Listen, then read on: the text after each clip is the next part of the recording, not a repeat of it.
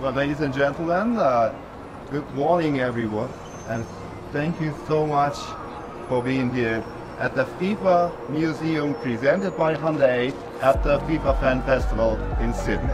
We will be here to welcome football lovers from all around the world to make them explore our new special exhibition calling the shot Faces of Women's Football.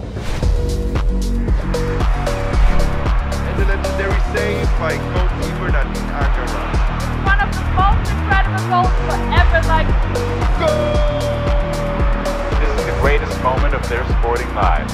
Who will be crowned the best team in the world? Here we go for the Women's World Cup final. Uh, today is a very exciting moment for celebrating the rich culture of football. Our goal of the century is a world where equal opportunities are available for everyone. The woman that made history in 2007 at the Women's World Cup in China when she did not concede a single goal. Germany goalkeeper back then, Nadine Angerer. by deep diving into these stories, we hope to obviously inspire the younger generations, and that's why we are where we are today.